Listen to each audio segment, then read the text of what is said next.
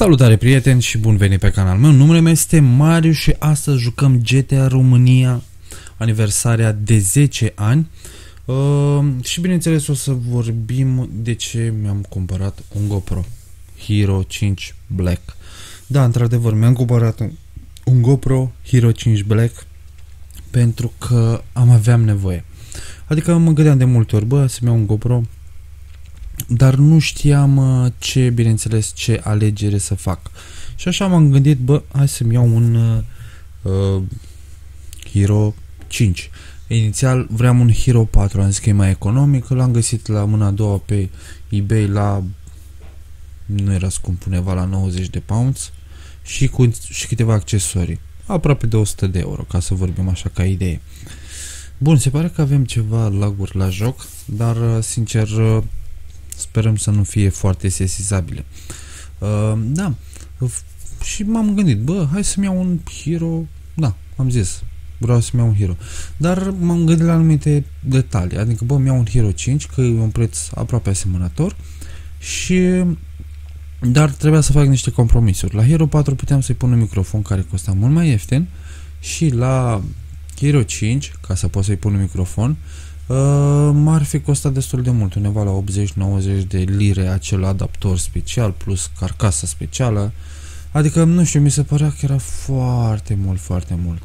Și sincer, eu l-am vrut doar pentru, aveam nevoie pentru uh, a face clipuri, nu știu, să zicem că mai reparam ceva la laptop, la mașină, uh, mai prezentam un produs care l-am mai, l-am mai cumpărat, știi, și adică am zis, bă, îmi trebuie ceva ok. Bun, luând în calcul că microfonul de la GoPro Hero 5 bă, s-aude destul de bine, adică nu s-aude rău, doar că are un, un fel de sunet așa de fundal, care bineînțeles printr-un simplu edit prin Audacity sau prin alte programele, uh, puteam să reduc această problemă și într-adevăr chiar uh, asta se întâmpla, deci se poate face treaba asta. Dar m-am gândit felul următor, îmi cumpăr frumos niște, niște una, o lavalieră de aia ca lumea, adică am văzut ceva de la Rode, uh, ceva interesant mai este și la Buia, nu mai știu cum, ce model M1 sau ceva de genul, care este foarte bunăcică. Este asemănător cu, nu știu ce mai era, uh, ceva cu sunet, Audotechnica, ceva de genul. Ce gât lung are ăsta! Bine, nu știu, cine a făcut modurile astea le-a făcut foarte uh, ciudat așa, că zici că întoarce capul, zici că e o, o broască din aia. da, oricum jocul e super fain. Deci, uite, avem aici frumos lada noastră, deci arată într-un mare fel, să zicem așa. Da, chiar uh, interesantă. Deci jocul este interesant. Da, și am zis că mi-au la valieră, pot să folosesc inclusiv un telefon care să am un jack. Uh, și eu având un telefon, deci cred, cred că m-ar ajuta foarte mult această opțiune. Bine, poți să optezi și pentru o lavalieră cu uh, memorie gen cu portofon și după aceea spun lavalieră, dar așa m-ar ajunge undeva la 100 de lire. Așa că microfonul am zis lavaliera aia să conectez la un telefon, m-ar ajunge vreo 20-30 de lire. Nu știu, era mult mai ieftină din punctul meu de vedere. Și am zis că, băi, este o soluție bună. Uh, da, deci să zic că sunt niște soluții destul de bune treburile astea, să poți face treaba asta. Nu știu pe ce buton am apăsat, dar nu mai reușesc să merg cu mașina înainte. Cred că am făcut inversia la mouse sau nu știu ce am făcut acum. Acum rezolvam situația. Deci nu este foarte, foarte complicat. Bine, acum nu zic că, băi, este necesar să ții un GoPro dacă vrei să te apuci de YouTube. Eu GoPro mă le iau după aproape, cât am, m-am apucat două, am patru ani de zile de când fac YouTube, dar să zicem trei ani de când îl fac în mod mai serios, adică mă ocup de uh, de a face clipuri mai cât de cât mai decente și să nu încarc orice prostie pe canal.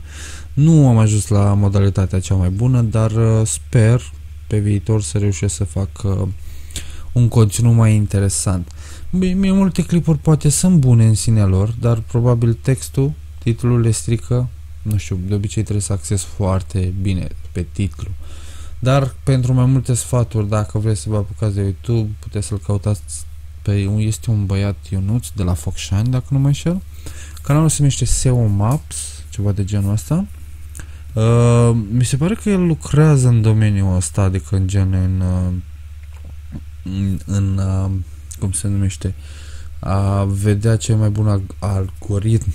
Deci, cred că asta este meseria lui, bineînțeles, lucrează pentru o companie, ceva, pentru o afacere. Dar, sincer, dă niște sfaturi foarte bune, ajuns și el la 10.000, la 10k. Deci avea, când l-am descoperit, eu avea aceeași abonați ca mine, undeva la 4 sau 5.000 și creștea în același timp ca mine. Dar, nu, fiecare, na, face ceea ce îi place. Și referitor de site-uri, că erau multe întrebări, bă, nu mai prinzi site-uri de făcut bani. Bă, sincer, să zic, o lua și foarte mult timp și acum chiar nu mai îmi permis să am timpul ăsta. Hai să luăm și vagabanta asta, așa, să ducem, unde trebuie să ducem. Bun. Și um, dădeam așa puțin și mă gândesc, mă, bă, ok, România înțelegeam, bă, să acasă, puteam să mai fac clipuri, dar exista mereu probleme, mereu problema asta și mi-era așa puțin pentru mulți dintre voi, pentru că bă, mulți poate și investeați în anumite site-uri care le prezentam. Uh, știți că la un moment dat nu mai lăsam linkuri ca să din cauza de la strike-uri care puteam să le iau. Teoretic, dacă pe YouTube trimis persoane pe alte platforme, nu prea este acceptat de comunitatea YouTube. Așa că, bă, am zis că trebuie să fac o schimbare, pentru că sunt mulți ani la muncă și schimbarea asta nu prea a venit super bine pentru mulți dintre voi. Uh, bineînțeles, a văzut și rezultatul. Uneori încerc să vă mai, bă, mai prezint vreun site ceva care mi-l recomandați voi, dar, v-am zis, există problema asta că eu s-ar putea să vă prezint un site, mi se pare mie că e interesant și are potențial, dar site-urile, nu știu, nu sunt așa de sigure, adică a, sunt, mâine nu mai sunt, adică nu stai cu o chestie super sigură. Așa că am preferat să fac ceva care să mă, să zicem așa, în fel să reprezinte, adică să vorbesc despre mine, să fac recenzii la diverse device-uri care o să le mai iau, uh, inclusiv că mai am niște site-uri de unde pot să le obțin mai ieftin, adică gen cu, ca să le fac recenzie de pe Amazon, o să mă interesez, că oricum o să mai cumpăr niște accesorii și acolo pot să obțin niște prețuri super bombă de mici. Deci cred că m-ar ajuta super bine să fac treaba asta. Într-un viitor apropiat, ce să vă zic, am schimbat locul de muncă, nu mai lucrăm în detailing, nu mai lucrăm la mașini, acum lucrăm într-un depozit, este ceva program de după amiază și în cauza asta nici programul ăsta nu mai îmi permite mie să stau cât stăteam înainte, să stau cu orele, să să filmez și să fac clipuri. Dar în general mă ocup weekendul și uneori când am o stare mai bună, când sunt mai puțin obosit, un timpul serie după că ajung acasă oricum la vreo 11 jumate, 12, depinde de dacă mai stau peste program. Dar pot să zic că pentru mine e o avansare adică din punctul, din punctul ăsta de vedere, adică posibil că o să ajung la aceeași sumă de bani care o luam la 5 zile jumate, adică lucram și sâmbătă jumătate de zi, sau poate și puțin mai bine, dar uh, din punctul ăsta de vedere, sincer, sunt uh, ceva mai mulțumit. Acum, na, rămâne să vedem cum va decurge toate aceste lucruri, cum se va întâmpla. De, cel puțin joi se anunță Black Down-ul complet, se va închide multe magazine, o să rămână doar cele de alimente și câteva magazinele deci eu sper să pot lucra în continuare pentru, bineînțeles, a putea să-mi, să susțin proiectele care vreau să le duc la bun, bun sfârșit, să zicem așa. Da, pe canalul principal am zis ce să fac pe asta o să fie legat de vloguri și chestii ce facem noi pe aici și în tipul meu așa că mai nu am nimic a filmat, probabil o să mai jucăm o leacă de GTA sau alte jocuri. O și cam asta ar fi, adică prea multe n-am ce să fac. Mm, sincer, vreau să mai veni și voi cu niște idei. Uh, știu că am amânat chestia cu cu giveaway-ul care l-am făcut. L-am amânat pentru că, sincer, am mai anunțat odată și, sincer, Ilies Vlogs, nu Ilie, Ilies Vlogs? Nu. Ilie Production. Uh, sau bine, mulți alții ați lăsat nu știu, ați dat niște comentarii gen că, ma, super și ceva de genul ăsta și, ma, te aștept și pe canalul meu. Nu zic că nu, că apreciez că vrei să faci treaba asta, mulți chiar fac treaba asta, din chestia asta se descărcă, adică gen vii cu un comentariu de genul, dar e de apreciat că mai există persoane. Și de asta am și amânat acest concurs pentru că nu prea mai erau persoane și sper, sper să ne mai adunăm până la 1500, sper să-l fac, bine, probabil o să dăm, o să dăm prin PayPal, nu știu câți bani, dar o să alegem, cred că, un număr de 5 persoane, cam așa, și o să fie, cred că, un premiu de câte 2 sau 10 persoane, nu știu, o să vedem exact atunci câte 2 euro sau 2, 2 lire, nu știu, o să vedem exact. Pe alte proiecte care le-am mai început, am început să mai vindem pe eBay. Bine, momentan nu avem niște produse super ok. Au fost niște produse care le-am cumpărat eu din târ, dar mm, sincer am pus și la acea cameră de acțiune care am cumpărat-o eu din târg și v-am prezentat-o și pe aia am pus-o la licitație. Vom vedea ce prețuri obținem și bineînțeles o să mai venim și cu alte accesorii pentru că o să avem nevoie. Săptămâna asta trebuie să-mi ajungă camera. Camera, trebuie să-mi ajungă accesorii pentru GoPro, nu am accesorii. Sincer sunt multe clipuri care vreau să le realizez dar fără acele accesorii e limitat așa adică avem uh, să vă arăt o aplicație cea mai actualizată să zicem dacă ai un OBD, o diagnoză și vrei să îți rezolvi problema mai bine decât cu diagnoză simplu aveai la Tor cu ePro și nu mai știu cum ce alte programele. Am descoperit un program bun și gratis care îți permite să faci o grămadă de chestii cu ea și gen modul mai avansat. Nu este ca o diagnoză profesională, dar uh, poți să zic că îți faci treaba cu ea. Uh, eu am mai vorbit de acea diagnoză, e cea prin Wi-Fi, Uh, sincer, acea diagnoză am primit-o, sincer m-am apucat într-o perioadă să trimit mail-uri la companii din România, gen de astea de piese, pe mag, am mai găsit niște mail-uri. Și am început să trimit la oameni să le, să le propun uh, diverse colaborări și sincer uh, nu au fost multe, cred că m-a contactat undeva la două, trei companii, dar am trimis foarte multe mail-uri care, să zicem, au acceptat să facă colaborare cu mine. N-a fost rău, sincer. Am fost foarte mulțumit pentru că pe lângă că am făcut clipul, clipurile mi se pare că au ajuns până la 1000 și ceva de vizionări. Am lăsat bineînțeles și un link. Uh, bă, produsele în sine au fost bune, adică nu am fost uh, dezamăgit. Deci, uh, na. Și referitor de GoPro-ul ăsta care tot vorbeam, m-ar ajuta pe mine mult. Am zis și am repetat.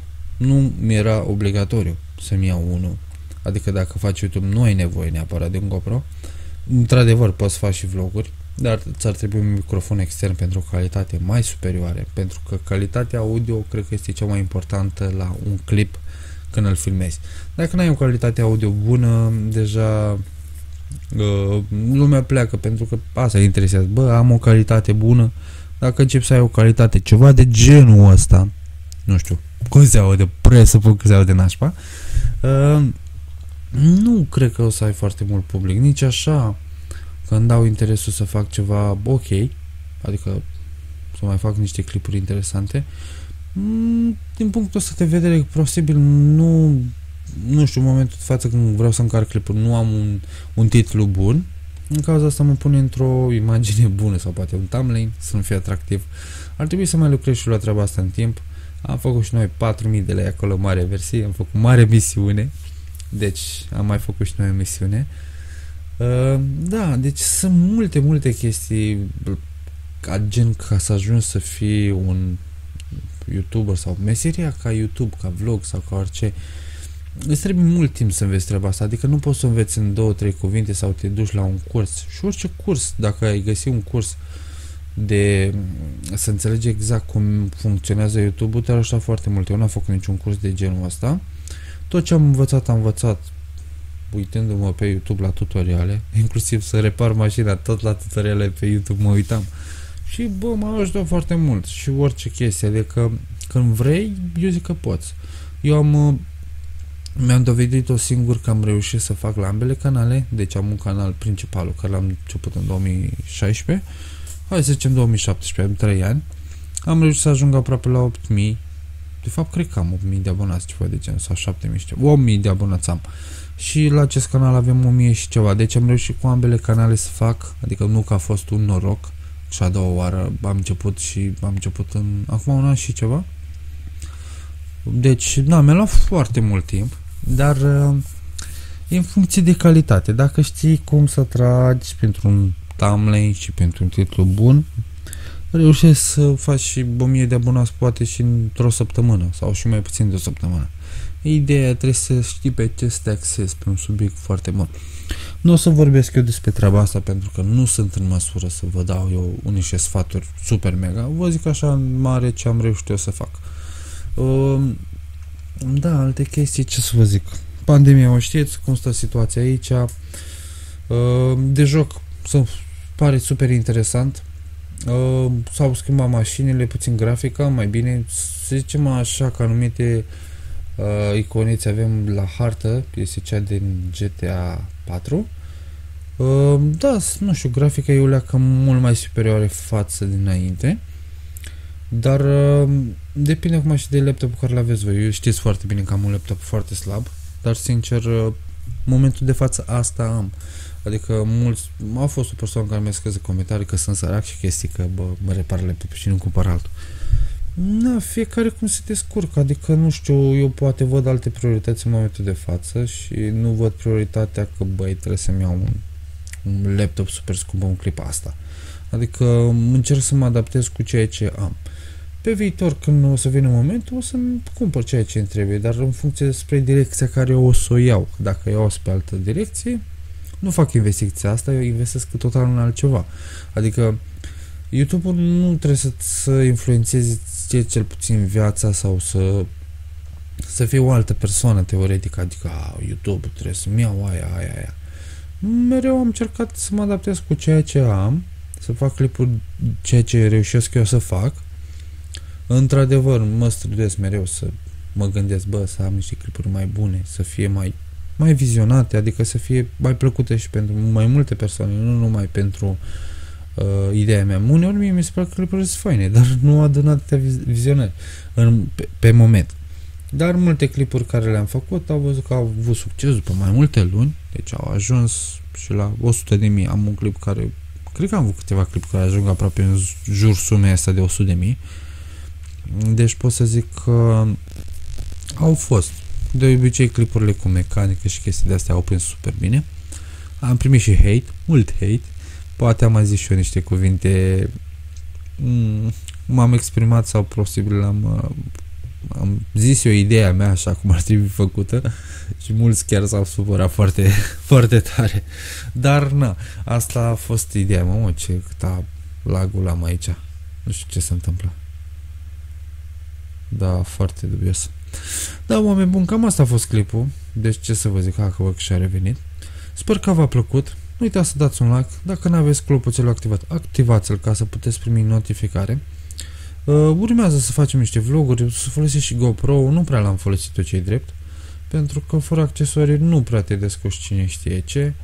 Deci uh, sperăm de acum încolo să fie totul super ok. Adică să reușim să facem ceva next level. Bun, ne vedem data viitoare. Aveți grijă voi și nu uitați să fiți abonați la ambele canale și dacă vreți să mă urmăriți pe TikTok, mai fac de obicei clipuri haioase. Uh, puteți scrie acolo frumos Stan Marius și mă găsiți. TikTok, pe Instagram nu prea stau, am și Instagram, dar nu stau. Pe Facebook știți cum să mă găsiți, Stan Marius Vasilică, dacă vreți să mă contactați pentru orice colaborare sau, nu știu, niște idei. Deci cam atât. Noi ne vedem data viitoare, prieteni. Pa, pa!